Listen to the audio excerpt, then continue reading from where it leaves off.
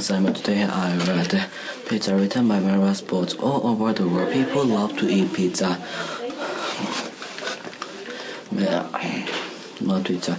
Many people could eat on his and her own. Yeah, and uh, many people made flatbreads and, and with toppings for a long time. Itali- Italian cooks made selling made sold and selling the fat flatbreads in the 1700s. They they called pizza. In Italians Italians came visit the city of Naples. The cooks made and made special pizza and named it after her.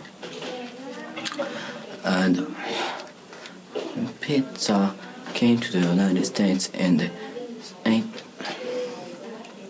1800s. 1800s. People moved in Italy to Chicago and New York. They hmm, people could eat, made and sold pizza on their new home. Pizza was a big hit in the United States.